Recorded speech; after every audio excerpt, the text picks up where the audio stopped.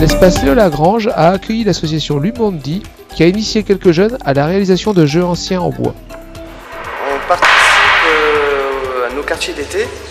Donc euh, durant une semaine, euh, on anime un atelier de fabrication aux jeux en bois.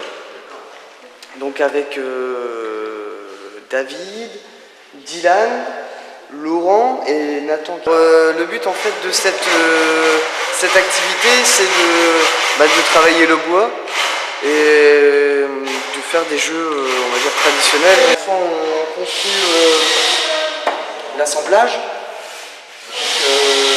Donc il y aura deux côtés en fait.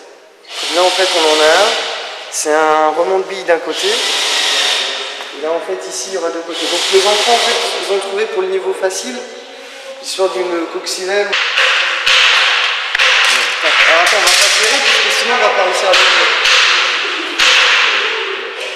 on se ça va un système avec des cordes et ça va servir à passer entre les, les bulles pour euh, venir dans... Pas dans la tête de mort quoi.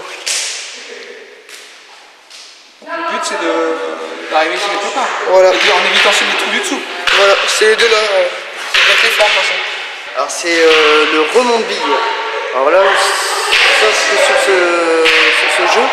On va juste mettre un petit palais pour que la difficulté soit moins, moins difficile. Donc en fait là il reste à mettre les petites attaches avec une ficelle. Les participants ont pu découvrir le travail du bois et les jeux anciens. Vous pourrez admirer et utiliser ces jeux lors de la fête de la CSF le 29 août.